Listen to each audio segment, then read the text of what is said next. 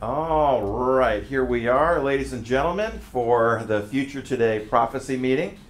So we're going to go ahead and get started. I'm going to start with praying. Those of you watching online, I think Mom was talking about watching. Kelly might be watching. So hey, everybody. Um, everybody else is watching. Um, so uh, we're going to go ahead and get started. So we'll pray and then get into it. Let's pray. Heavenly Father, we thank you for this opportunity to gather again as we look at this exciting topic. Lord, it's a it's got some uh, elements to it that. Um, can be alarming to us, but at the same time, um, all of these things, as we relate them to end times prophecy, just reminds us that we're that much closer to your soon coming. And so, uh, use this to educate us, prepare us, and if necessary, to equip us to, to do the work of the ministry. We thank you, Lord, for what you're doing here tonight, and we lift this time up to you in Jesus' name. Amen. Amen. Barry, would you mind swinging that door at least partly closed for me? Thank you. All right. So we're going to, it's been a, a month since our last meeting, which means we are one month closer to the return of Jesus Christ. Amen. Amen. That's good stuff. Uh, tonight's topic is artificial intelligence and the end times. Uh, Randy and I, and um, pretty much energy has gone in our lifetimes has gone, you know, crazy, and so we have seen, we have watched science fiction becomes science reality in many different ways. You know, we grew up in a world where terms like personal computer and mobile telephone didn't exist. And now they are commonplace as well as so many others.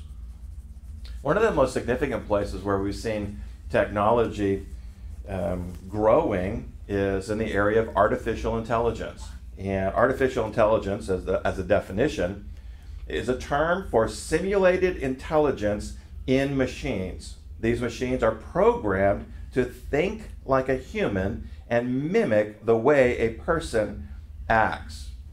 The, the roots of artificial intelligence, or AI, we'll refer to it as AI commonly, uh, are ancient. They go back thousands of years as people have, have imagined creating something that then thinks and acts like a human. We can see it all in ancient history. You can see different elements where that um, exists. Uh, it, ha- it has its roots in the desire for man to make gods in his own image. That's where the roots of uh, AI come from. The birth of modern AI or artificial intelligence can be traced back to 1956. I'm just giving you a little history there before we get into it. The big holdup with artificial intelligence has been the, the computer memory capacities and computer processing speed. Those have held it back from being able to accomplish the things that are the, the abilities that we've seen lately. Now, those, those limits are virtually gone. The worldwide capacity, these are little facts that you never know unless you go and look for them the worldwide capacity of, of computer storage today is 295 exabytes. And just because I didn't know this, I had to look it up. An exabyte is 1 billion gigabytes. So we're talking about a lot of space. There was a time um, when they were first starting to really build computers, a supercomputer, they were rare. There were a couple of supercomputers around the world. Now there are hundreds of them. China leads in that area with over 200 supercomputers. Um, U.S. Is, takes second in that. There's lots of these things. So these these giant computers that have this immense computing speed, and then we also have, you add to that, the the connectedness of the internet. You know, the the world is more connected today than it's ever been. I did um, I did a, a, a Google search on the term artificial intelligence. And in 0.53 seconds, that's just a hair over a half a second, it gave me 200, excuse me, 426 million results in a half a second. You know, it, obviously, you know, the computer speeds and all of that have just have just exploded.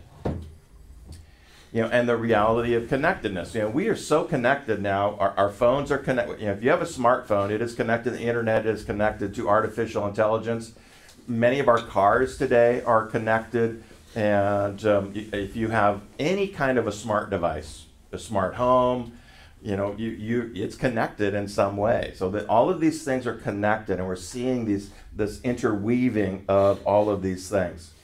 It's estimated that there will be 2.5 billion smartphones in the world next year. 2.5 billion, which means that about one in three people in the world will have smartphones next year, which is remarkable considering many of those people have, can barely afford to buy food, and yet they'll have smartphones. The AI artificial intelligence, one of the things they're using it for is the collecting of data. And not just collecting it, but then deciding what to do with it. And that's one of the things we do with it. That there are companies like Amazon, Google, Microsoft, Facebook, and Apple are investing millions of dollars into AI. Um, it, is, it is said right now that the best career path for someone. If somebody wants to go into some career, a young person, one of the best paths they can take is artificial intelligence. Go into that field because it is just going to continue growing and advancing beyond where it is even today. Um, you know, it's because of AI. I don't know if you've noticed this, but if you do if you do any kind of a Google search for anything, and then go to your Facebook. Have you ever noticed how sometimes ads start popping up for the, the very things you were searching for? It's because of AI.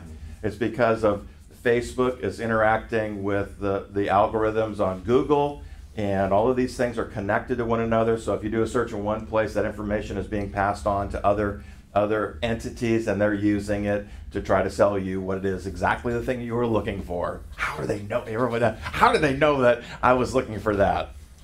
You know, and they're even saying that uh, you know our you know our phones are listening, right? You know your phone is listening. Now I could I could say two words. I could say okay, and then add to it the word Google, and my phone would say yes. How can I help you? Or some silly thing like that. They're listening to us. They're, and, and they are always listening unless you figure out some way to turn that off, which I'm not sure. You, can you actually turn those off? You can. You can, okay. Um, if you turn it off, um, then then you know otherwise it's always listening. And, and, you know and they're telling us it's all innocent you know. Mm-hmm. they're using it for you know for your benefit. Uh, you know the conspiracy theorists are going crazy over that this kind of stuff and you know saying you know they're you know the government's spying on us. In reality up until recently up until ai really took off the government couldn't collect the data and then do something with it that actually made it useful. Today that's totally different any entity, if they can get a hold of this data, um, that with the, with the use of supercomputers and artificial intelligence, they can collect the data and then they know, they know what to do with it. They can respond to it. And so that's, that's what's going on with that. AI promises to bring amazing progress to the world. It, there is absolutely, it's an endless variety of different things that AI can bring to this world. Amazing, awesome stuff. Though there are some, like Elon Musk, you know, Elon Musk is the guy behind Tesla. He's, he's saying that he believes that there ought to be some sort of regulation on AI. He sees danger with it. It's probably because he's seen all of the Terminator movies and the idea of, you know, of, of computers getting so smart that they decided they don't need humans. There's some fascinating um, videos. If you ever get on and, and look at, you know, AI computers talking to one another, dude, they start saying some scary stuff. Yeah, what do we need humans for, anyways? You know, they start talking things like that. You know, I wonder how much of that is, you know, was real. But, you know, it, you know, back when the Terminator movies first came out in 1984, you know, it was all it was all science fantasy. There was no way that a computer, a robot, could do the things that Arnie was doing. You know, the thinking for itself and responding and reacting, adapting the way that it did the idea that there was a computer, Skynet, in the future that decided the only way to fix this problem was to go back in time, which it somehow figured out how to do. And then, you know, I'm still, I'm, I'm, I do not believe that, that going back in time, time travel is possible. But that's another conversation entirely. but this, this supercomputer, this worldwide supercomputer, Skynet, was able to make this decision and then and then decide the only way to fix it was to go back and and to you know kill Sarah Connor and all these things. You know, they they was all fantasy back then. Well, now there are organizations like DARPA who are actively trying to create robots that are completely human-like. Now they, they act, they, they respond, they think, they move like humans, except way better, faster, and stronger. They're also creating animals. And some of the creepiest ones are the insects that they're, they're developing. These little tiny insects that they're creating, you know, for, for really good purposes, they're doing it for. Yeah, sure. You know, watch out for the flies in your house. They may be spying on you. Uh, lots of wild things that are going on right now. The technology, up until now, it was not possible to, if, if they had things like that, to control them and to be able to give them the, the independence they would need to be effective. Now, with, with artificial intelligence, all of those things are possible. So, amazing stuff are out there. Um, another technology that is advancing rapidly um, is um, RFID. Have you heard of that? Radio frequency identification. The, the, the possible applications of RFID are endless. Um, they can use those things. They're already using them broadly through industry. A lot of the products that we buy have RFID chips in them already. Um, uh, if you've chipped your dog or your cat, that's what you chipped it with. You chipped it with an RFID and it allows them to contain information, to transmit information. Um, um, they can they can track locations, um, and they can use them for lots of different ways. Some of the ways they're using RFID are for um, uh, for um, helping people to access buildings and different things. To use them for financial transactions. Lots of different ways they're using it, and there's a lot of technology out there. And there there are groups out there that want to chip humans. Matter of fact, there are groups that want to chip all humans. They want everyone to be chipped, you know, because they believe that there's a there's it's a benefit to people. Well, there's been a huge pushback on that, you know, not just from Christians, but from security-minded people. They're they don't believe that these chips are secure enough yet to do what it is they're they're trying to do with them. And people have just been resistant to the idea of being chipped. That is changing as we see time going on. More and more, more and more people are open to it. More and more companies are pushing for it uh, for lots of different reasons. And so this idea of RFID chips are, are um, is, is changing. Um, you know, lots of things they can do. They can, they can, you know, the idea, what they want to try to do is promoting it as a way of, of making it easier for us to buy and sell. You know that we, if we, if you have an RFID chip, you know, Randy was just talking about before we started, uh, an IBM commercial about this guy walking through a grocery store, just taking things off the shelf and sticking them in his coat. And you know, you look at him and you think, okay, that's a little weird. He's sticking, you know, a big chunk of meat in his coat and you know different things, and then he just walks out through what looks like through the door, and the security guy comes up to him and stops him. Hey, sir, and, and walks over and says, "You forgot your receipt." And and they're promoting this idea that all the products are chipped, and then the and it doesn't suggest how the man was chipped, but somehow he had a chip in him that the computers in the store recognized that he had picked up certain items, put them on his you know, on his person, and then when he walked out the door, charged them all to his credit card without him having to stop at a checkout counter, bring out his credit card, or present ID of any kind and so, and people are, and, and IBM and other companies like them are promoting this as the way of the future. And it's, and they're probably right. It's probably how things are going to go in the future. You'd expect those kinds of things. I mean, look around the way that that money is being used right now. We see less and less cash being used than ever before. More and more transactions are digital.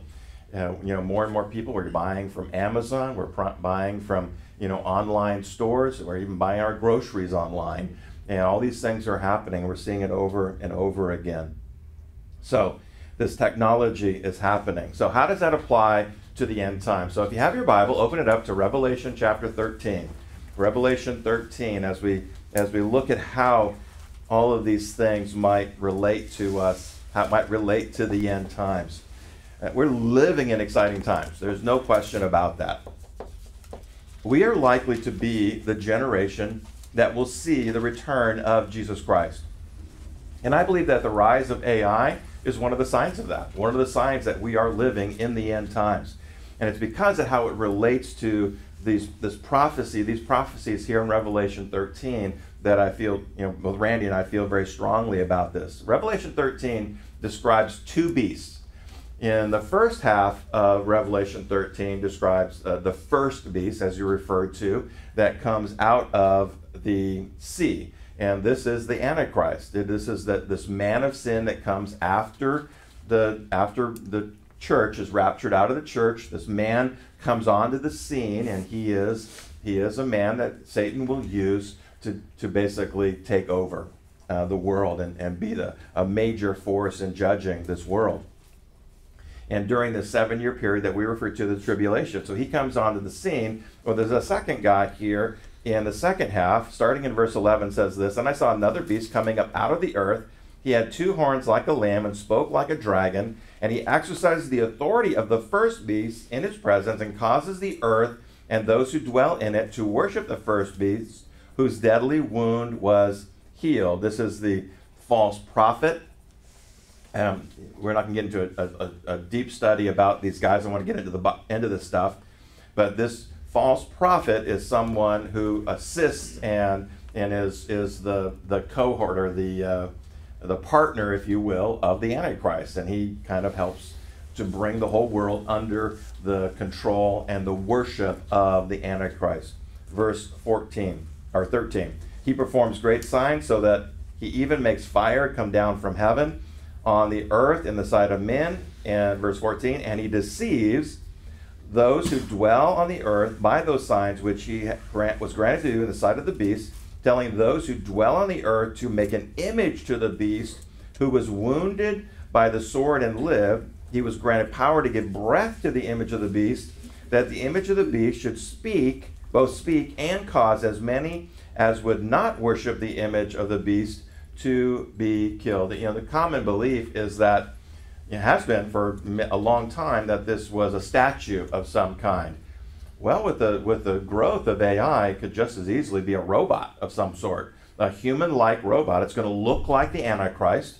That's the sense you get. It's going to be it's going to be made after the image of the Antichrist, but it's going to have the ability to speak, and it could be a demonically you know, empowered AI. Uh, very possible. You know, can an, can an AI computer be demonically oppressed? If you've ever seen my computer, I can say absolutely they're demonically, you know, possessed.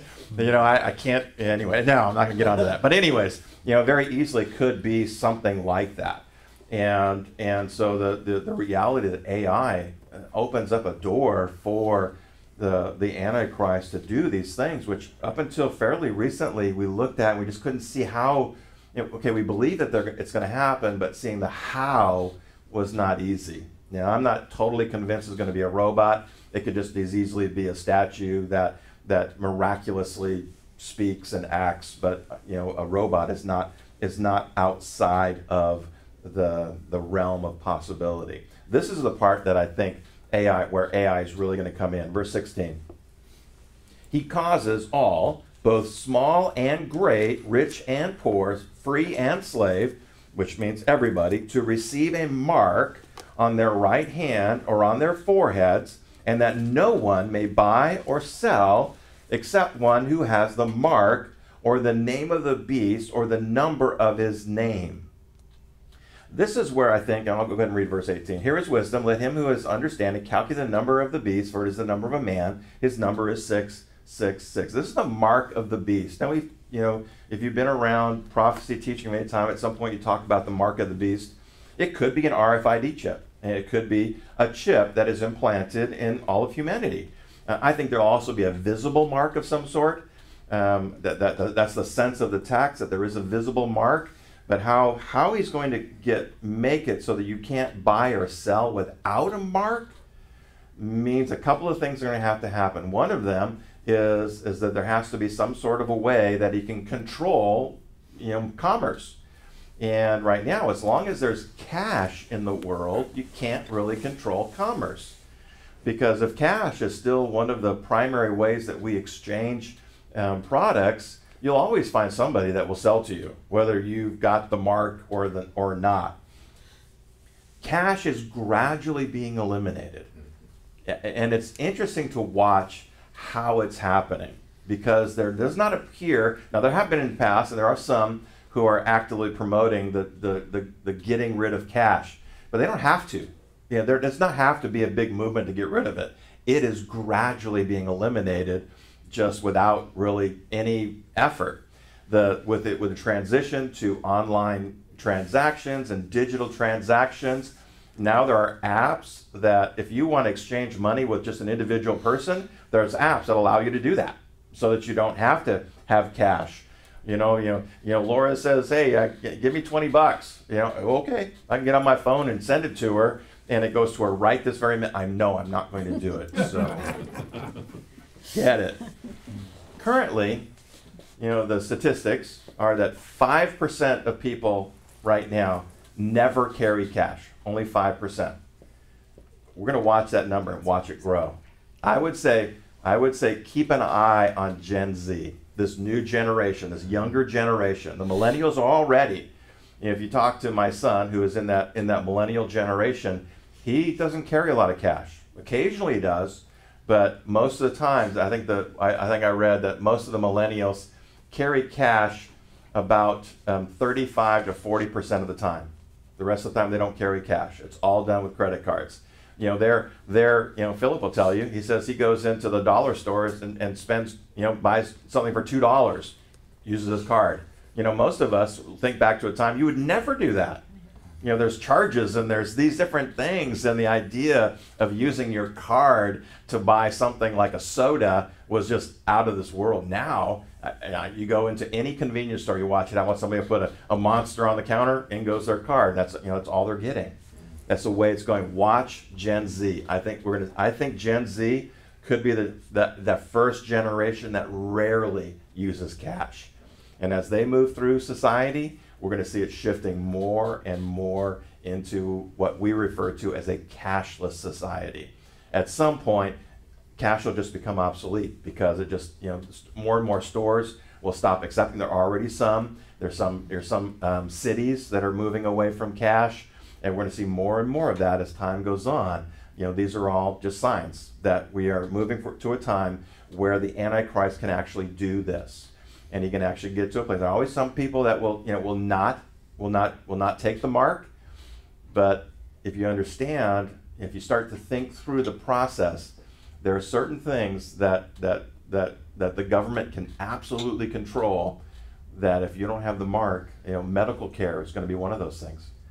You know, there could be, you know, if there's, you know, certain kinds of medicine that you can only get through the government, and I'm guessing that's one of the ways that Antichrist is going to control this.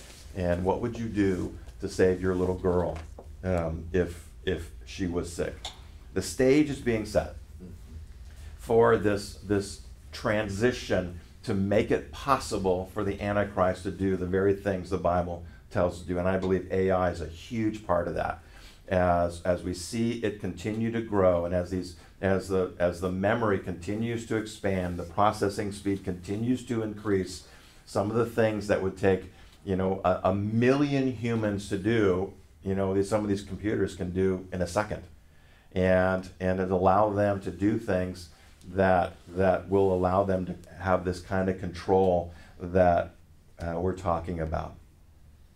With the aid of AI, a, a, worldwide network of AI computers, um, it's not hard to imagine um, him being able, the Antichrist being able to control all financial transactions. Uh, the, the rise of AI, again, I believe is a sign of the end times.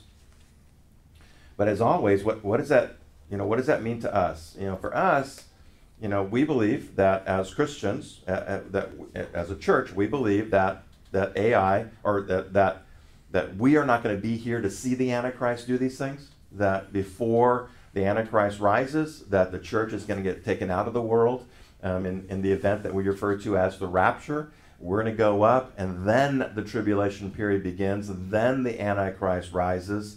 Um, even this whole buying and selling and the taking of the mark doesn't happen until the halfway point of the tribulation. So a lot of other stuff is going to go on, but AI is a big part of that.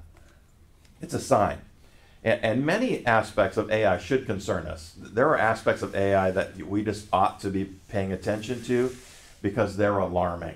Um, the way that they can track us, that that you you know the idea of being off the grid is is virtually impossible.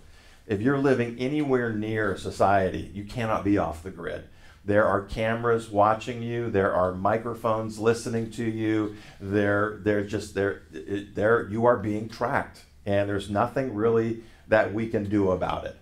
Um, and there's some aspects of that that ought to concern us. The aspects of of you know the government being able to listen into us. There's some aspects of that ought to concern us, and so we got to be careful not to let not to just go blindly along with all that's going on around us, but at the same time, we don't need to be we don't need to be afraid. Uh, 2 Timothy 1 7 says, For God has not given us a spirit of fear, but of power and of love and of a sound mind.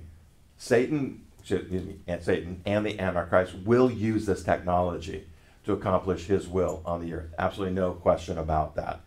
But we don't need to be concerned about that part of it. We do need to be concerned about some elements of how AI will be used in this world. And before he comes back, um, or before the Antichrist rises, the church, Jesus is going to come back. He's going to get his church, and until that time, be informed. Know what's going on. You know, that's why we do these, these meetings, so that we can be informed about what's going on in the world. And, and we're living in exciting times. Luke uh, 21, 28, 21, 28, then I'm going to hand it over to Randy. Now, when you see these things begin to happen, look up and lift up your heads because your redemption draws near. Brothers and sisters, look up. Jesus is coming soon. Amen? Amen. Pastor Randy, you're up.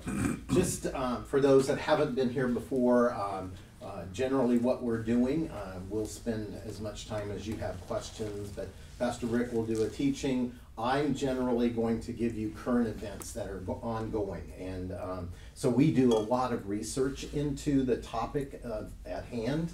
Um, and this time, I, I, have to tell you that uh, so much information is out there, you get into overload. Yeah. But I wanted to add to a couple of things that Pastor Rick was talking about in terms of defining why we're looking at AI in terms of a prophecy update.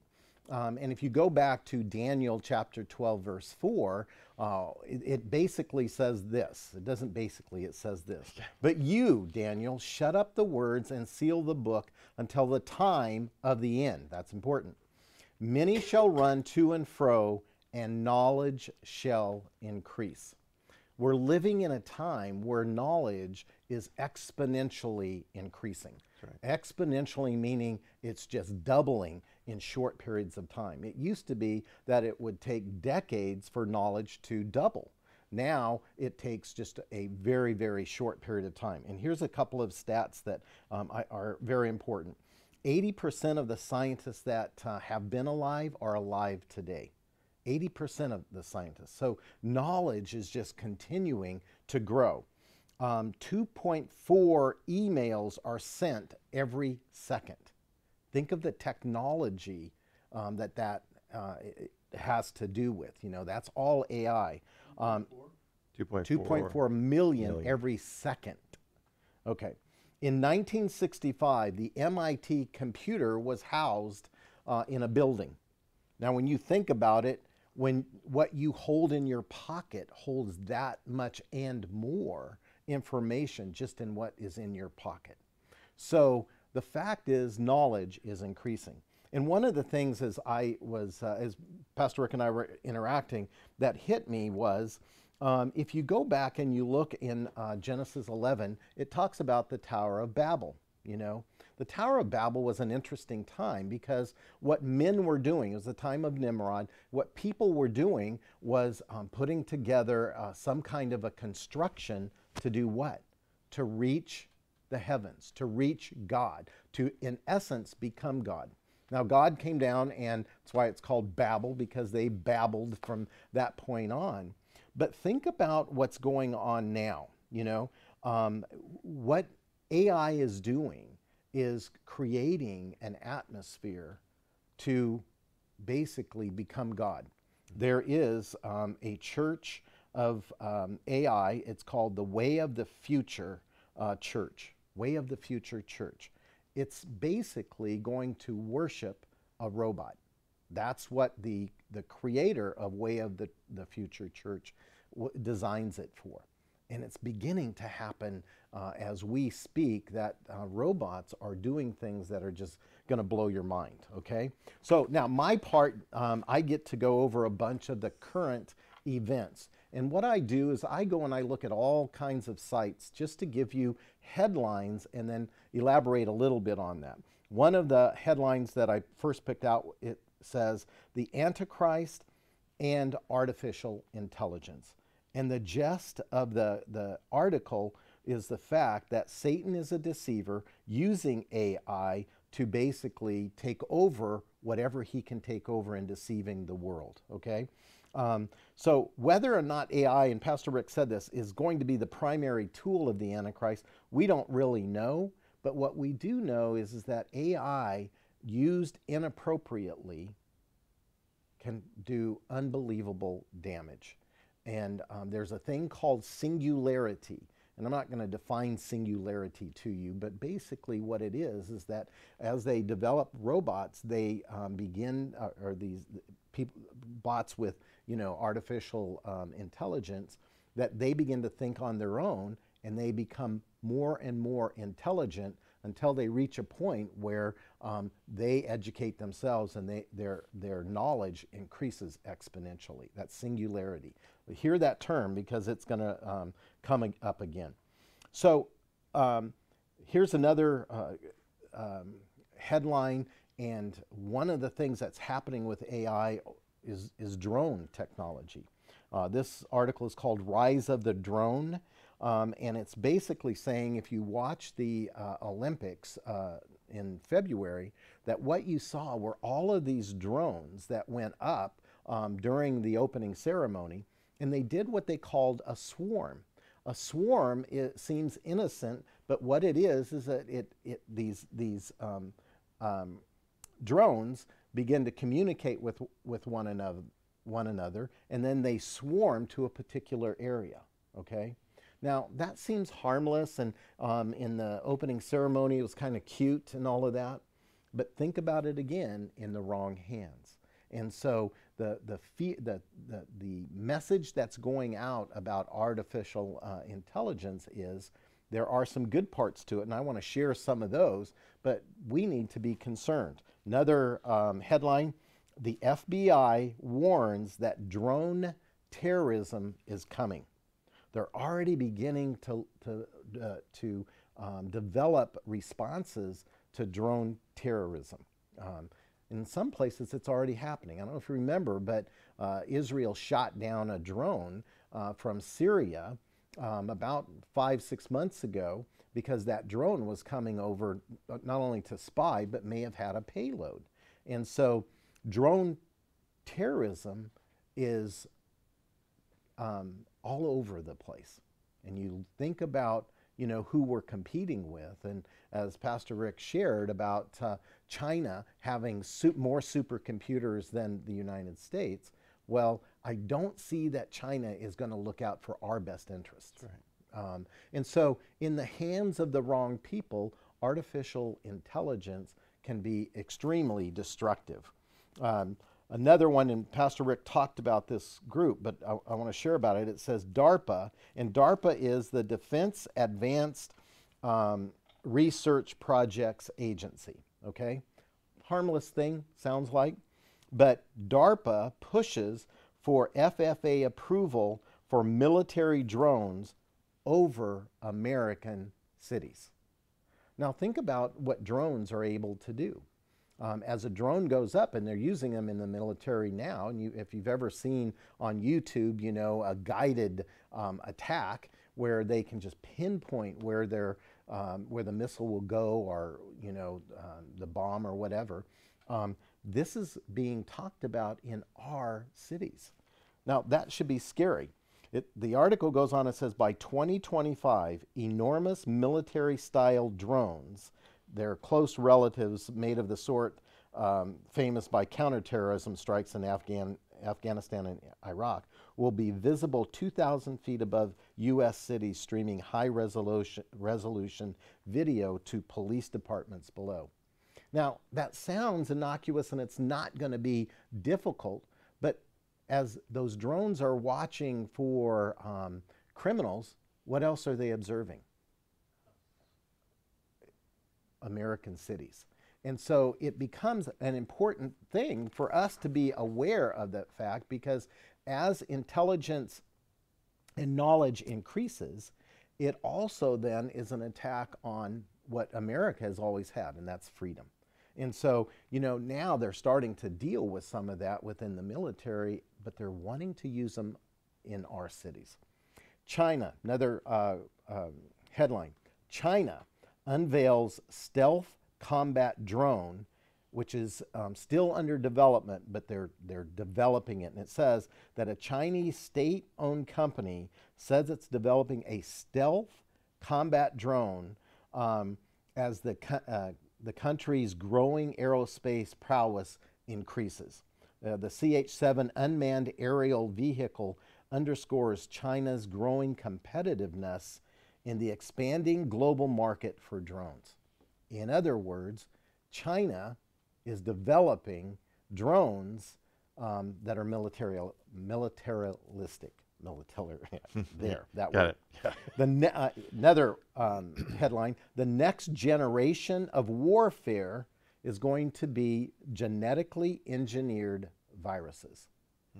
So now, because they have the ability with um, th- th- this AI uh, capability, they're able to begin to work on things that will genetically um, impact and engineer to attack cities, countries, um, as, as, a, as warfare. And while we've been fearful, you know, of that kind of warfare, um, these, this AI um, phenomena is um, beginning to develop them as a weapon, in essence. Slightly, um, slightly heavier than a toothpick, the first wireless insect size robot takes flight. Think about that.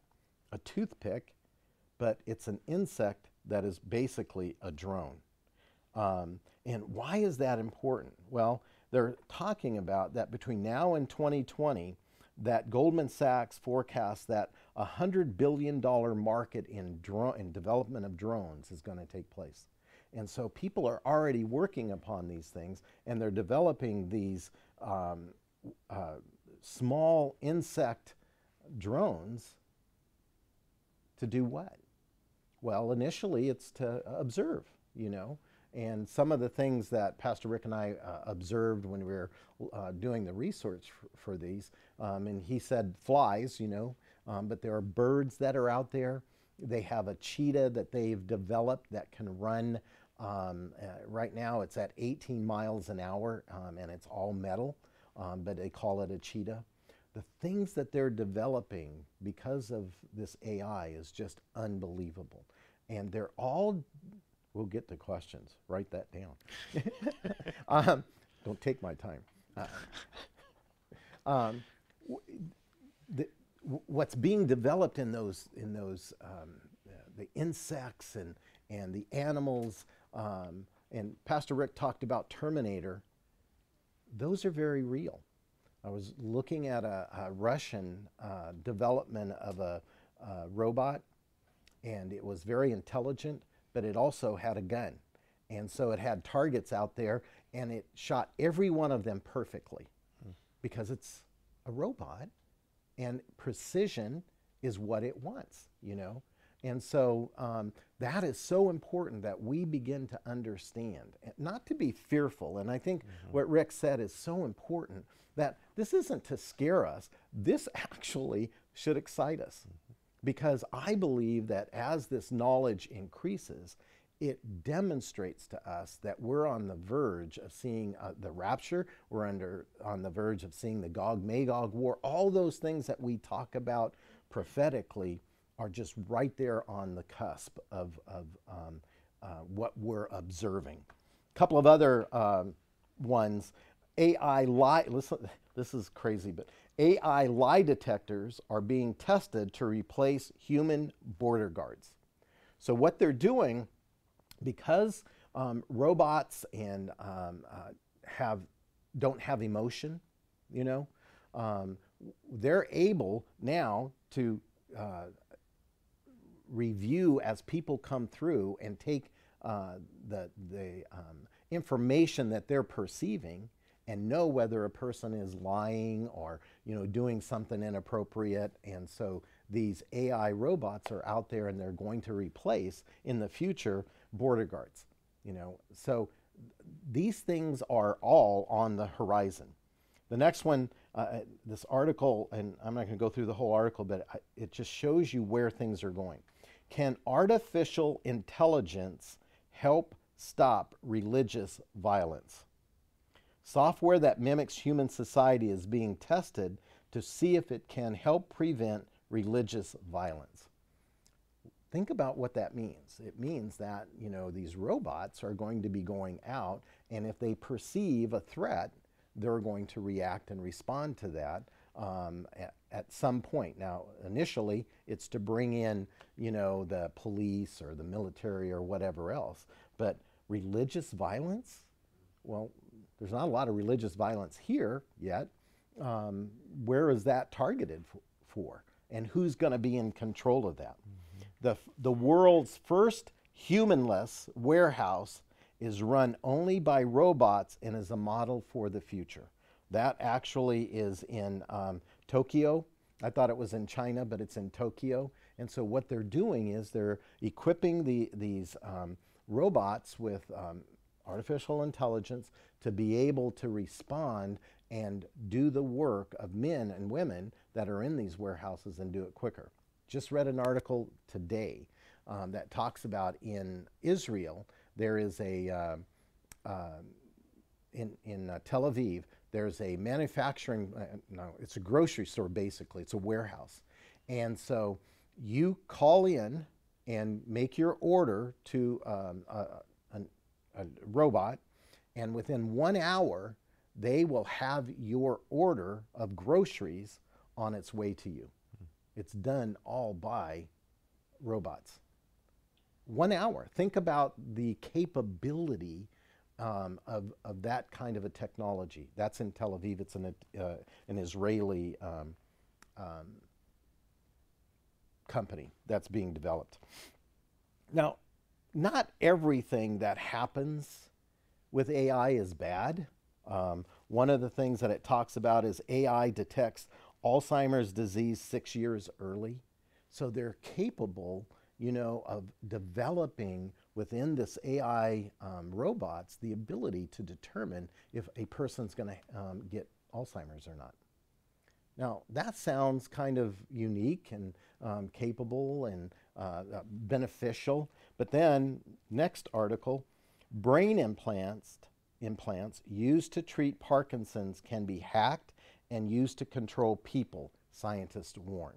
In other words, as they develop these things from this artificial um, uh, intelligence and they implant them, they're able to control um, people that they implant these things in. So, um, while there's some good, there's also the ability to lose more and more of our freedom. Artificial intelligence is not something to be feared, but it is something to pay attention to. I have an article here that says 10 powerful examples of artificial intelligence in use today. 10. Here they are Siri, Alexa, Tesla, Boxever, Amazon, Netflix, Nest, all of these things are artificial intelligent mechanisms. Now, why is that important to us? It's important because once you bring in Alexa to your house, you basically are allowing somebody uh, from an outside to be able to hack into your, your house. Um, I shared a few months ago about the family that had their baby, young child in the room, and um, they put on one of those baby monitors, you know, uh, and um, the child in the next few days started saying, Mom, who's that talking to me? Somebody had hacked in and was talking to that child through that baby monitor. The, the Alexa and um, uh, um, it was Alexa and uh, I, I can't remember the other one, but they pitted them against each other. And as they began to interact, they actually started getting mad at each other and um, doing some things that were just really inappropriate. One of the, um, I think, I think it was Alexa, it may be a different one, very s- similar in terms of what their capabilities. But people began to test them, and I don't know if you have Alexa or Siri or any of those things, but um, you know, try to do some things with them. What this one person tested Alexa and said, you know, do you work for the CIA? And Alexa um, went off on this tangent about all kinds of different things. And, and then they um, asked it, who killed this particular um, person that had been a, um, a man several years ago. I won't give you the name, but um, he ended up um, in a car, and the car uh, ended up um, crashing, and it killed this guy. And so they were asking Alexa, because the, uh, well, who killed him? And Alexa wouldn't respond, in fact, shut down.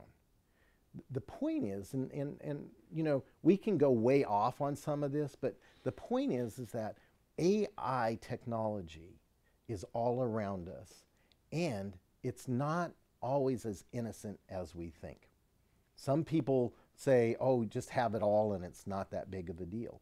I'm not that way. I am a little bit careful about what I let into my house personally, um, but it's because I don't know what's there. I don't trust all of that that's out there. And AI can be extremely dangerous. Now, that's AI. Here are some things that um, are um, somewhat associated, but not totally. The Swe- Swedish are microch- microchipping themselves by the thousands. Pastor Rick was talking about that the RFID uh, technology is there. In Sweden, um, people are asking for it because it makes life easier.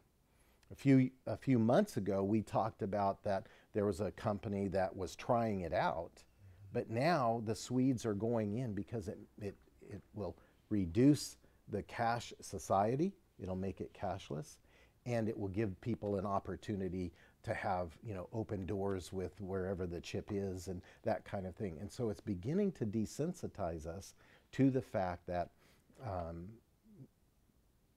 life is easier if you just do it this way, which I believe is um, a step towards you know the people that are left um, being microchipped because a number of them are just not going to understand prophetically what's out there, and that's why it's important that we're talking about this all the time and it's out on the um, internet.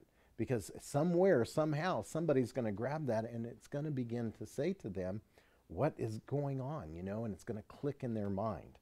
Now i only have a few more minutes so i want to go through a couple of things um, before we open up to um, um, questions um, well, let me finish with this. The IBM that Rick was talking about is developing an RFID chip to identify where every package is going to be.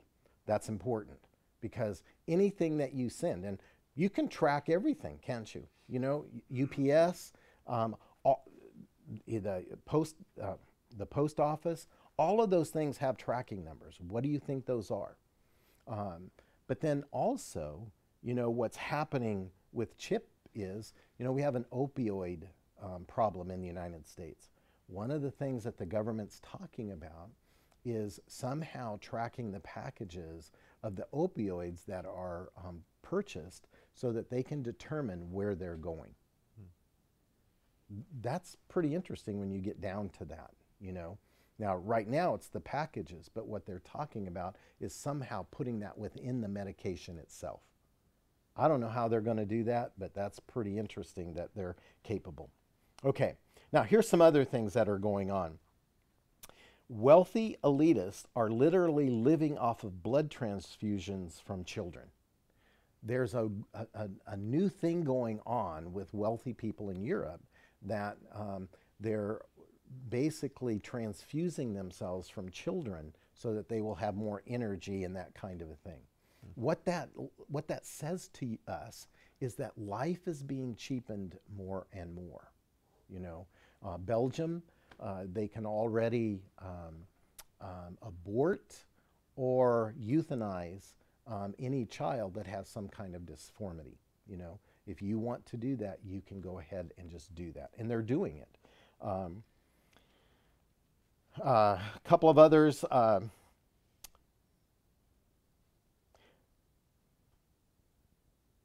why can't you be a Christian witch? Was an article that was out, um, and what's important in that one is the that um, headline is the fact that the church is being attacked from within. People um, are not as well grounded in the Word of God, and as a, a direct result of that, they're acquiescing to political correctness or to progressivism, and they're allowing things in that are, quite honestly, um, heresies. And that's why it's so important and why Pastor Rick and I talked about, you know, doing a prophecy update because um, a lot of mainstream churches now will not teach on prophecy. They won't teach on it because they don't want to offend anybody. Well, that's something you have to be careful with. And whether, you know, you're coming to this church or you're seeing this online, check that out. Will your pastor teach prophecy? If they're not teaching it, then you know there could be a problem with that. There are some named pastors, named churches, large churches that won't teach on prophecy because they don't want to be offensive. Couple of other things about um, um, Israel. Um, will radical Democrat freshmen turn the House against Israel? There were just in the in this past election, there were two um, Muslim women um, elected to the Congress. One of the women wrapped herself in a Palestinian state and said, in essence, that she's going to do everything she can to destroy Israel. This is in our Congress. Um, so if we're not paying attention, things like this will continue to happen over and over again. Staying on something like that, 800 influential Islamic scholars from 120 countries to meet in order to establish that Islam is a religion of peace that poses no threat to the world. Wow. Um, not what I would think, but look at the, the publicity that they're trying to get to basically say that Islam is not a threat to the world. And in France just now, just this past week, there are all kinds of riots and um, uh, from the Muslims that, that went through a rampage throughout France. We need to be careful with what we're looking at. Okay, a um, couple more things. I have a couple more minutes. Uh, European courts rules people can be fined for speaking against Muhammad. If you're not familiar with what's going on in Europe, um, it's a takeover. You know, uh, England, uh, most of their churches are beginning to shut down. They're saying that there's probably five to ten percent um, of the English people that are born again. Those churches are beginning to set, shut down. Guess who's buying them? The Muslims are to create mosques out of them. Um, the last, latest Ebola outbreak could be uncontainable. Viruses in um, uh, Luke 21 that Pastor Rick talked about, uh, Matthew 24, Mark 13. It talks about the signs of the end times, and those are some of those that are coming um, uh, alive where viruses are possibly uncontainable. You know, um, the one that just hit um, in Africa, um, they don't know what they're going to do with it, and it's just uh, exponentially beginning to touch lives. Saudi crown prince hosts Israeli Saudi crown prince host Israeli evangelical Christian leader. Saudi Arabia, as we know from prophetically, is not going to be one of the countries that's part of the Gog Magog war. And in fact, when Russia invades Israel, the Saudis are, it says in Ezekiel 38, um, are going to say something to, like this Are you guys going to come down and take the booty? In other words, all their natural resources. They're going to be standing on the sideline. But what's happening right now in Saudi Arabia is they're befriending Israel because they know that Israel is going to protect them from some of the other countries that are hard-lined uh, Muslims. And so they're beginning to form a relationship thinking that that's going to benefit them. Catholic, Catholic leadership calls on Israel to rescind its new law that declares the country is the Jewish homeland. So Catholics believe that the Jews shouldn't be in Israel. Interesting things that are coming up. Um, all right, two more, and then we'll open it up. Listen to this one. I, three more, actually. Sorry. Prophecy comes alive. A red heifer born in Israel, fish in the Dead Sea, and a snake at the western wall have many wondering if we've hit the end of times. All three of those have prophetic um, importance. A red heifer has to be sacrificed before the temple um, can be ordained. So they've got a red heifer now that they're growing and watching it for any blemishes. That's important. Fish in the Dead Sea. If you've not been to Israel, you haven't floated in the Dead Sea, but floating in the Dead Sea is so easy to do because it's so um, uh, salinated. Is that a word? Sure. It is now. It is now. Um, which It's on the internet now. Yeah. New word. Um, the saline content does not allow for fish to be in Israel, but now they're finding that there are fish in Israel. Another, uh, what the rabbis think is another indicative uh, fact that their Messiah is going to come. In other words, that Jesus is going to return. The issue with the snake um, is that uh, in, in um, don't have the book, and I'm sorry, but um, in I, I'm pretty sure it's Psalms, but it talks about a snake coming out of the wall. What the rabbis believe is that, that a, a snake coming out of the wall um, is a positive sign that um, positive things are going to happen to Israel. And just this week, they had a, a snake come out of the uh, western wall. So um, that headline in and of itself was pretty significant because now the Jews are believing we're in the end of times. Here's another one that will will uh, give you preparation for uh, Israel um, embracing their Messiah. Sanhedrin urges candidates for Jerusalem mayor to prepare for the third temple. They just had an election in Israel for the Jerusalem mayor uh, um, position.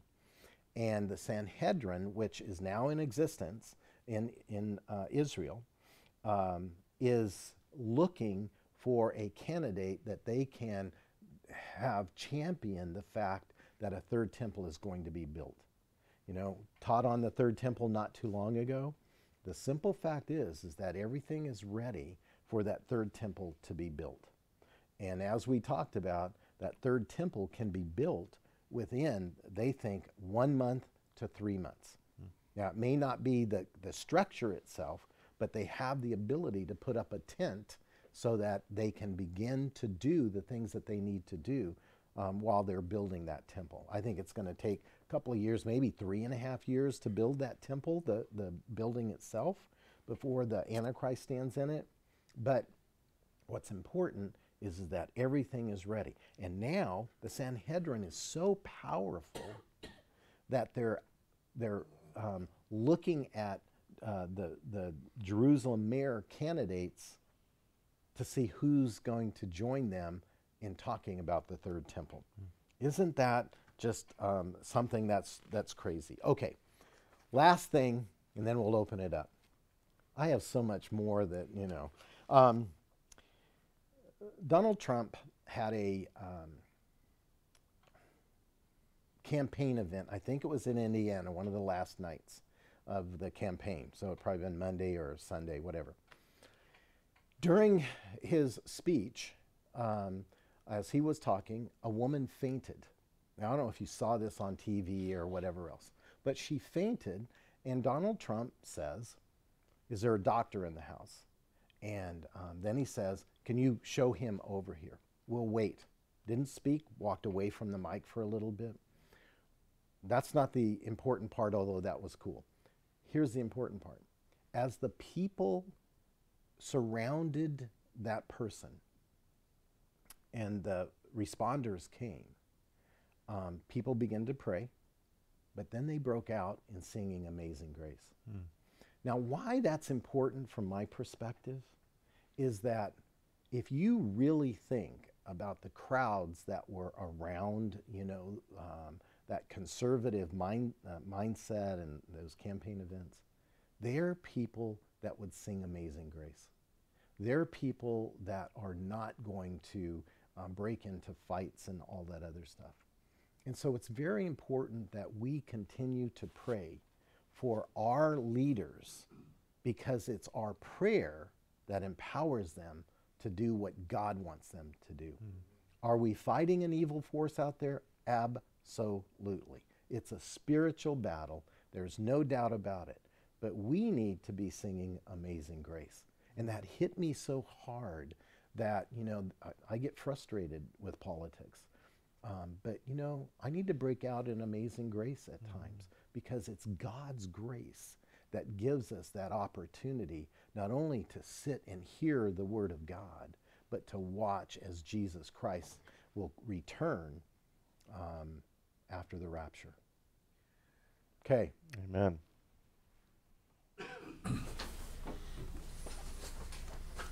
Okay, questions? Now, questions. You had one, Laura? I know I was gonna let somebody else ask first. just ask it. Go ahead.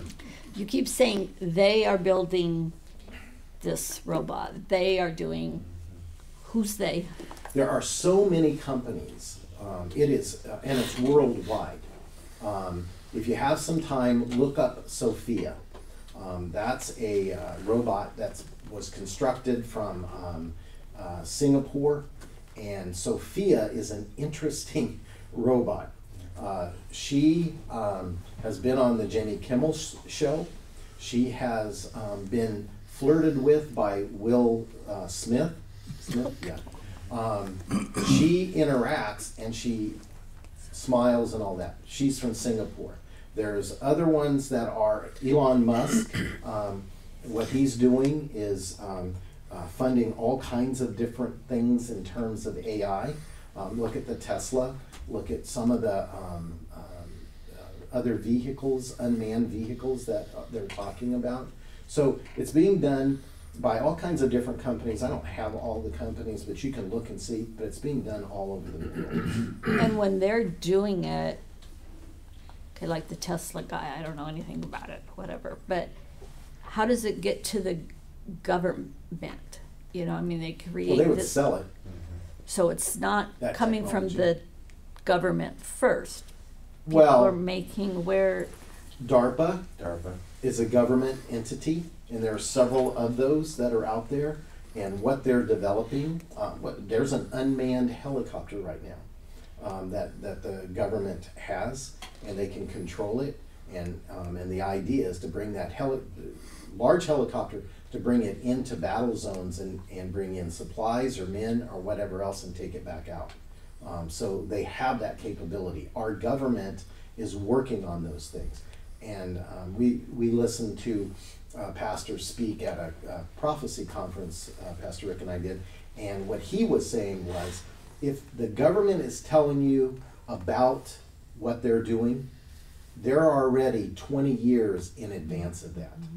So if they're able to fly a helicopter into a combat zone, um, think about what they're really working on.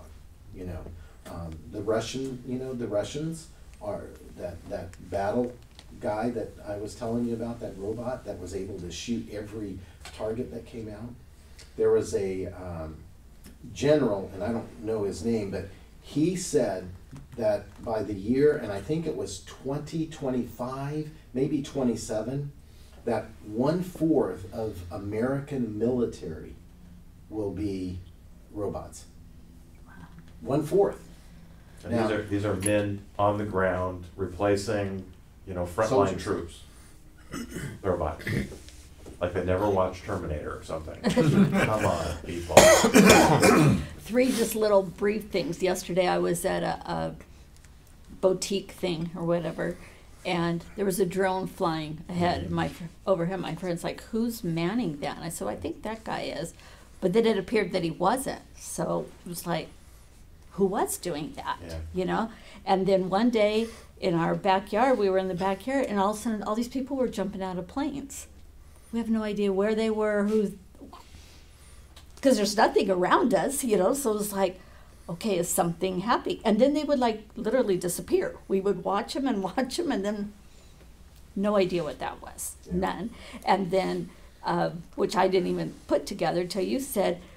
We were at some friend's house, and the guy was over in his backyard, and he was looking up a song by Glen Campbell. It popped up on my Facebook, like to buy the CD or something with that Yeah. In seconds. In seconds. Yes. Yeah, that's AI. That- See, I, that's I was like, exactly oh, what a that is. coincidence that was. I had no Yeah, idea no, of that. it was not a wasn't coincidence. oh my goodness. No, That's no. scary. The thing about Elon Musk, um, he was interviewed by, um, I think they were British uh, uh, commentators, newscasters, and they said to him, um, "What's your biggest concern?" And he basically said, in essence, safety. He said, "We don't know if we're going to be able to control what we're developing." That this guy's intelligent. This guy has he's a multi-billionaire, and he's developing all these things, and um, he's fearful. The biggest fear that he has is that, in essence, this will run amok. Wouldn't it be smart to not do that? They, they asked him that question, and he said, uh, you know, in essence, um, I didn't watch the whole interview, but in essence, you know, I, this is what I do. Yeah. Yeah, This is if, what if do. he doesn't do it, somebody else is going to do it. You know, certainly that, you know, the, those uh, less uh, desirable countries, you know, if they can get hold of technologies, the Russians, you gotta know the Russians are actively developing the technology, and if they can use it to further their, you know, their political and socioeconomical, you know, uh, agendas, they will. And so it's just one of those things, it's, it's somewhat, at this point, it's inevitable, it's going to come. You know, whether or not they'll be able to control it or not, that, we just don't know. And that, you know, it, again, the, the thing we wanna be careful here is that what we're try, not trying to do, and we gotta be careful not to get all fearful and, you know, you know, scaredy kitty about this. You know, we need to be aware and, and, and be prepared, as prepared as we can be, you know, for this. But ultimately, what we see in this and what we see in things like this, uh, again, we, you know, we look at this and say, you know, we ought to be looking up. You know, you know, our our Lord could be showing up at any moment as these things continue on. But don't be afraid of them. But we ought to be aware and prepared, as prepared as we can be, uh, to respond to them.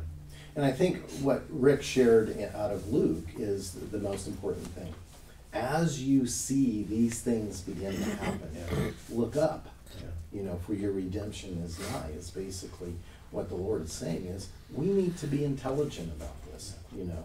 We need to understand, not because um, that, in, that knowledge is going to make us haughty, but it should make us bold to present the gospel to people that are around us.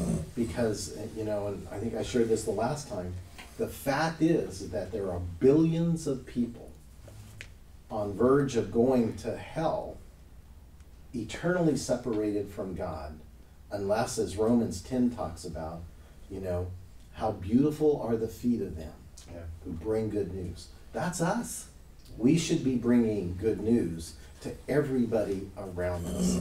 And, you know, uh, I think the time for timidity um, is past. John and I were talking earlier today about, you know, when God says, go do something, attune your ears to the Holy Spirit and go do that. Because we're called to do that. And that's what this is for. Um, I, I will tell you, I'm a prophecy, uh, uh, None. crazy dude. I love say it. Um, I, I do, and I, I, I, but I do it not just for me. I do it to try to help other people to hear what's going on. And if a lot of churches are not teaching prophecy, that means about one third. It's a little bit less, but about one third of the Word of God isn't being taught because they're fearful of that. or they're spiritualizing it or skimming over it. You know, the, you know, what Randy says, if, if the Bible comprises that much prophecy, there's a reason why. And we ought to not be afraid of that, and we need to, we need, it's in there for a reason, and so we ought to be teaching it. You know, as a church, we teach right straight through the Bible, chapter by chapter, verse by verse. And if we come to a word of prophecy, we talk about prophecy. We come to a word of exhortation, we give a word of exhortation. That's the way that we believe, you know, that God would have us to teach these things. And, um, you know, prophecy is, is not something to be afraid of, and, and much of it is easily understood, eh, especially in, in, the, in our modern times. You know, one of the areas where knowledge is increasing is in the area of prophecy. You know, these things are becoming clearer and clearer. The, the closer we get to Christ coming back, the more clear prophecy becomes. We can see what people in the previous generation weren't able to see because there weren't there, there wasn't enough information. Now there's more information. We can see it more clearly, and as time goes on, there's going to be more information, and we're going to see other things more clearly. And so we'll keep we'll keep we'll keep sharing. We'll keep talking about it because of that. Any other questions? So there will be more things like this? Yeah, we'll do it once a month. Oh, yeah. okay, okay. Yep. Hey, hi. We love to do it once a month, Yeah. sometimes more. If we could do it more, we'd probably do that. We'll see if people keep showing up. If you keep showing up, we're gonna keep doing it. Absolutely, Absolutely. Any other questions? I think on a, on a, oh, I'm sorry, No, no, Go go ahead. ahead. Go ahead. okay. I think on a practical level, if you, if you currently have a, an internet presence, if you use a smartphone, if you're on Facebook or any of the other, uh, social media, the, your information is out there. Yeah. I, I did a, a Zillow search, which is a real estate site, the other day, Monday or Tuesday. The next day, I had a realtor call me and ask me if I wanted to sell my house. The next day. So, I- and, and that's the same thing you talked about early on, about things showing up on, on Facebook. So just be aware that if you get a phone call, and just because someone knows who you are, where you live, what your phone number is, doesn't mean they necessarily are good people. That's right. That's right. Uh, there are scammers out there that have figured out how to glean this information and how to tailor it to, to speak to you to make you think that they're legitimate people. Right. They're very, very good at it. So be very careful. Uh, Which is important that, that we talk about the, this stuff, Barry. I think that, you know, if you're not talking about it, um, you, you can be more vulnerable. Yeah. Don't be vulnerable, just be Right. informed. That's, that's great. Tammy? Um, I'm curious, is all, because we're part of Calvary Chapel, Mhm. Ch- Calvary Chapel's a, a large, large body of churches. Yep. So are, is, is, are you, is, are we as a whole, all Calvaries, is that what they're doing? They're all teaching on prophecy as we come to it? Well, well, not all. Um, you know, the thing about Calvary Chapels is that uh, while we're all affiliated together, Mhm. um, we are independent of one another. And so we, to be at Calvary Chapel, you, you operate under a certain um, set of what they refer to as distinctives. Uh, certain things that are, that are just, they're just common with Calvary Chapel. Uh, you know, teaching through the Bible, chapter by chapter, verse by verse, is one of those, probably the big distinctive of them. Um, but we're not mandated to do anything specifically. Um, and there, and so you'll find many churches, uh, and, and again, it really comes down to the pastor, how, what his heart is for that. You know, one of the reasons why we do this the way we do it is because Randy, Randy has a heart for prophecy. Now, I, I love prophecy. Like I said, if I come to it in the Bible, I'm going to teach it, but he is drawn to it. And so, you know, it's one of those things that God has, has put on him. And so, if you know, if a Calvary Chapel pastor either has a heart for it, has somebody like a Randy in their life, mm-hmm. then they're gonna they're gonna they're gonna be more inclined to it. Most Calvary Chapels will address it, mm-hmm. um, and you'll find that one of the favorite books in most Calvary Chapels is Revelation, and it just it just seems to show up pretty regularly mm-hmm. because we believe Revelation tells us how the story ends, and we believe we're getting to the end of the story, so we ought to tell people about the end of the story, and and so and so you'll see Calvary Chapels regularly teaching through the Book of Revelation and other books of prophecy, but Yeah. Revelation tends to get a lot of a lot of traction because of that. But yeah, so so yeah, I would I would say I wouldn't say all of them, but you know they tend to lean in that direction. Generally speaking, if you go to a Calvary Chapel, for the most part, you're going to get similar sorts of things. Yeah. Again, just depends on the size of the church and and you know lots of different factors that go into it. Um, like I said, if, if it weren't for Randy, we wouldn't do as much prophecy as we do, um, yeah, because he's just more inclined to it. But you know, I've taught Revelation four times now, I think so. and I'm going to Yeah. teach it again in March, and, and I'm going to teach it. I'm going to teach the whole book of Revelation in a week In in Indonesia. Indonesia. Wow. So uh, I'm going to do. I think I've got 15 sessions. And what's important about that, uh, you know, um, our church supports uh, Shine the Light Ministries STL.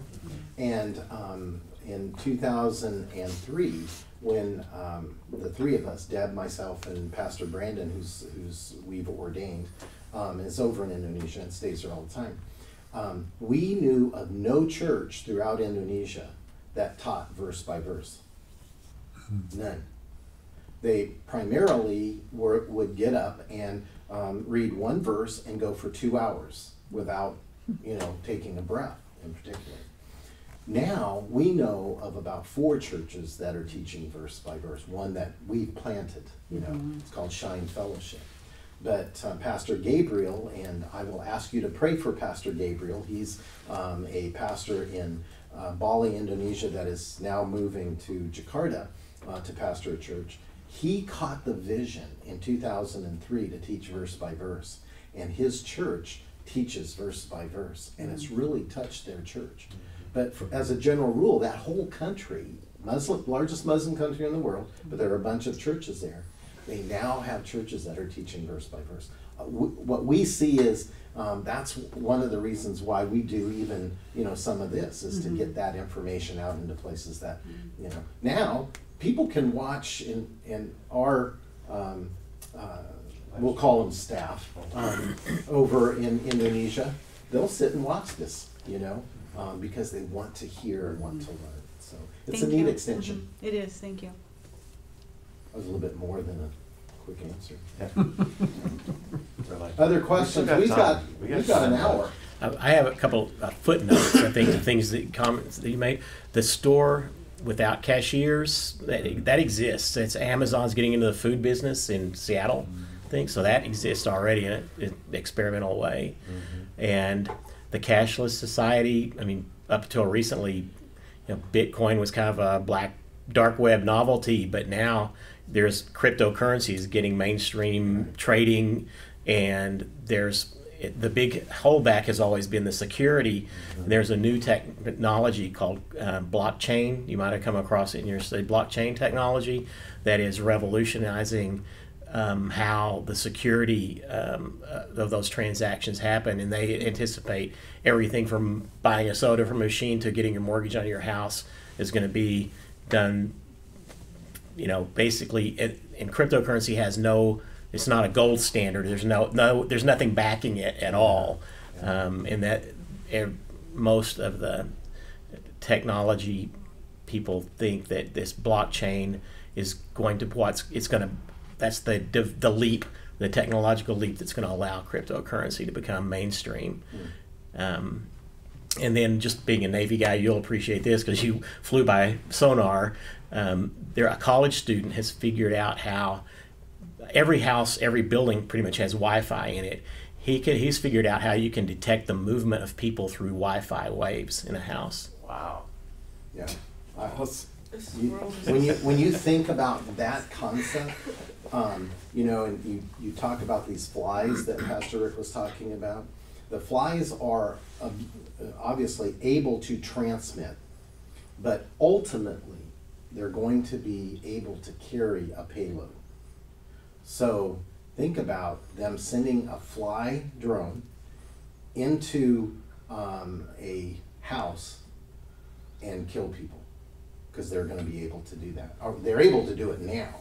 Um, so everything that you're saying, you know, that technology. Sweet dreams. there. Yeah. You- So they're not going to come after Thanks, you, Ken. Ken. They're not going to. Yeah, you're, you're such a nice guy. They're going to leave you alone. Yeah, So, nothing to do with me. yeah. What's Look a, up. What's a payload? um, bombs, stuff Oh. like that. They can carry, they can carry Weapons. stuff. You know the you know there's already there's already a movement to uh, to develop drones for companies like Amazon, so that you know so Yeah. instead, instead of having a truck deliver your package, a drone just brings it and drops it off at your house. And so AI is going to enable all that stuff because you know you know it used to be that you know a single person would have to operate a drone. Now you know with with artificial intelligence and and the and the, the connectedness of the world, they can launch a drone as far as they want to and have it bring a package to your house and you know give it to you get it to you you know not not two days but same day. You know, we're to see again you're going to see all this technology is going to continue to grow and to advance. And again i think some of the things that, that are going to happen are going to be cool. Um, they're going to be they're going to be beneficial and useful and good for us. And we're talking about some of the you know the darker stuff but i think you know artificial intelligence is going to make great advances in medicine you know, as as they're able to start pro- because the processing speed is going so far, they're going to be able to run certain kinds of tests that normally take you know very long time to process. They're going to start being able to do it faster and faster. Some of the aspects of you know uh, DNA testing and different things like that. You know, these these supercomputers are going to be able to start processing some of that stuff quickly. Yeah. As a quick aside, um, I ran across one of these little little you know factoids that I think was fascinating. I mentioned there's 295 exabytes of data storage in uh, in the world. Um, they estimate that that represents about one percent, one percent of the amount of information that's stored in your DNA. One percent. That's that is remarkable. To me, what that says is that God is amazing. He has stored a hundred times the world's capacity to store information inside of your DNA. Isn't that remarkable? Yes, it And, and, and you know, if you think Unthinkable. about just Yeah. piggybacking on that and going back to the Tower of Babel, when the, the minutia or the minute information or knowledge that they had then compared to now, God was able to disperse them. Mm. God can do the same thing today. So AI doesn't even come close to mm-hmm. knowing what God knows and what He's going to do through us mm-hmm. because He empowers us. And that is why, again, we study this is so that we're empowered because we have answers for people. We have the light of the world in our life. Mm-hmm. One of the things I think is cool for, you know, that, that the, the technology is enabling us to do, there's a, they're, they're developing software that allows, um, you know, know, Tower of Babel, the confusing of languages, that unconfuses languages. Literally, that if you both have these devices, that you can just speak naturally, you're, you hear in your ear, you know, what they're saying in your own language. It, Yeah. it literally translates almost instantly so that then you can then respond back to them. It then communicates to them in their language. And so you have this, this fluid conversation as opposed to what we typically have. When I go to Indonesia, what's going to happen is I'm going to have this little tiny guy. He stands about this tall. You know, Benny, if you're watching, love you, dude. He- he's like he's like short. When I stand next to him, I am like Goliath. He is like David.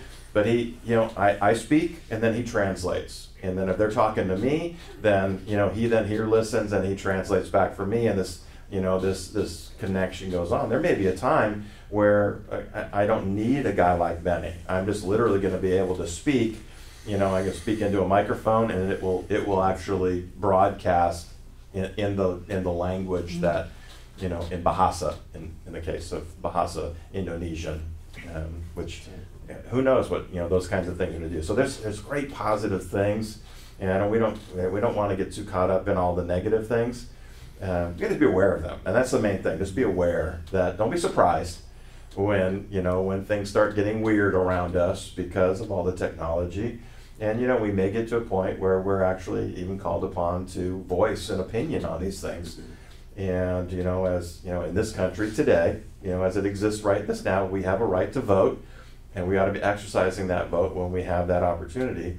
And when we see these things that are concerning to us, we ought to be doing what is, you know, what we have the freedom in this country to do, and that is to exercise that right to express our opinions and, if, if possible, to vote on those things.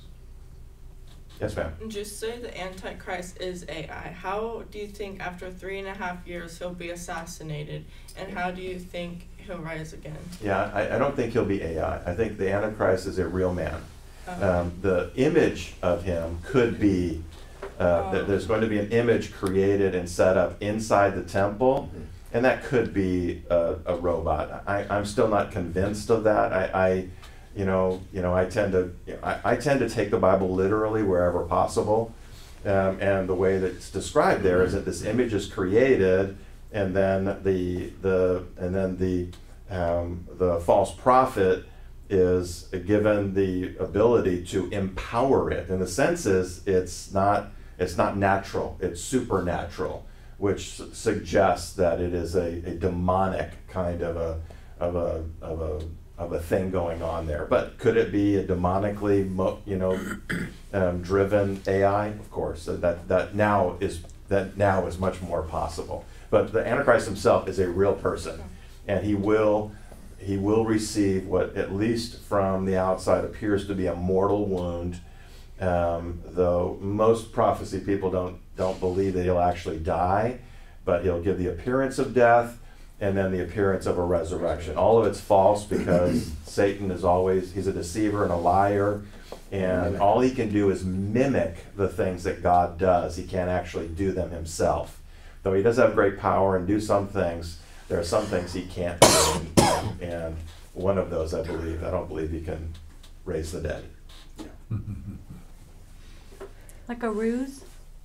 Like a what? Like a ruse? Like a ruse, sure. hmm Yes, ma'am.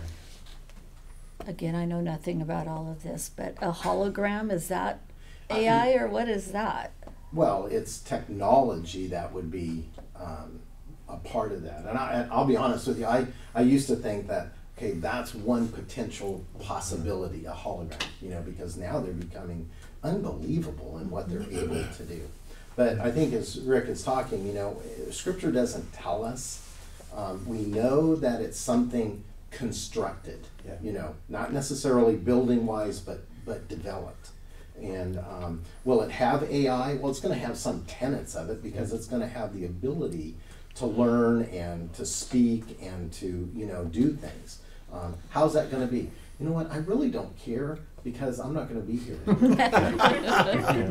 Uh, that's pretty sad, but you know that's true. But it's, go- it's going to have the power to compel people Yeah, to worship. yeah, And so, you know, the that suggests its worldwide connection. You know, this connection through possibly through a network of AI Yeah. um, computers. So again, yeah, we're, we're just right at this point. You know, we have no idea, you know, what that's going to look like Yeah. because and just so many things and so many things are going to happen in the first three and a half years leading up to that. This world is going to look nothing like it does today.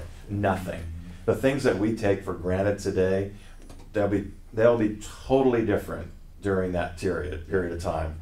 Um, the the Antichrist is gonna is gonna is, is gonna cause things to happen in this world that this world has never experienced before. We've never seen it before, and the things that we take for granted today are going to be many of them will be gone, and they'll be replaced by completely different things. So you know, we, we gotta be careful because we're gonna take, we take today's reality and try to project it forward into that period.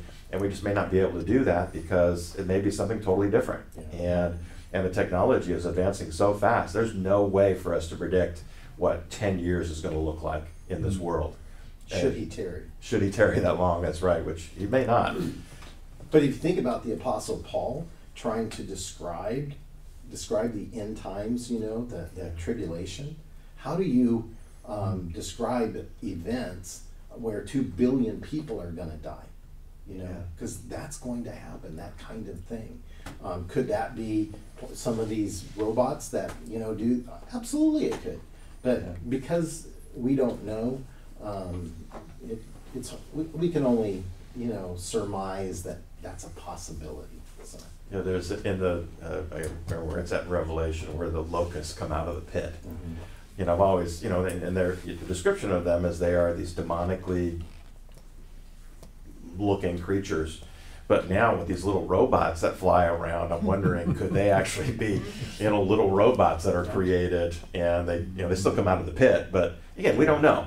And, and let's say we, you know, whenever you start talking about things like that, we gotta be careful, you know, because again, we're trying to project, you know, like, like, you know, you know, you know, John trying to describe things, you know, that he's seeing using first century eyes, you know, 20, possibly 21st century realities.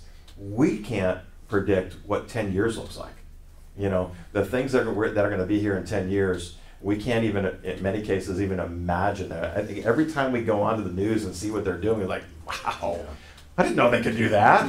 Yeah, imagine what they can do after they continue, you know, to, you know, they go from, you know, 300, 295 exabytes to 100 times that, which is not hard to imagine that, you know, that, that all the different, you know, the, the, the capacity. Computers get faster and Yeah. smaller.